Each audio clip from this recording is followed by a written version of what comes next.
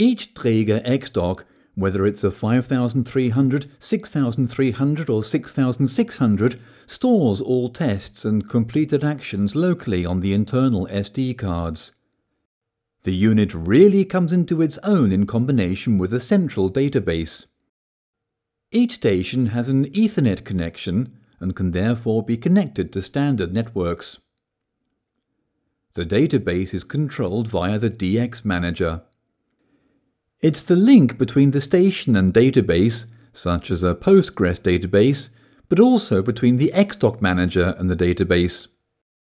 Each PC connected to this network can access the database. Using the X-dock Manager allows all the data created to be comfortably viewed and analysed, and the production of comprehensive reports and diagrams.